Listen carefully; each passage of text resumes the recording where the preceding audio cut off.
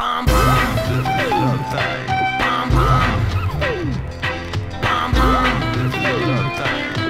It doesn't have to be a big production number, you know.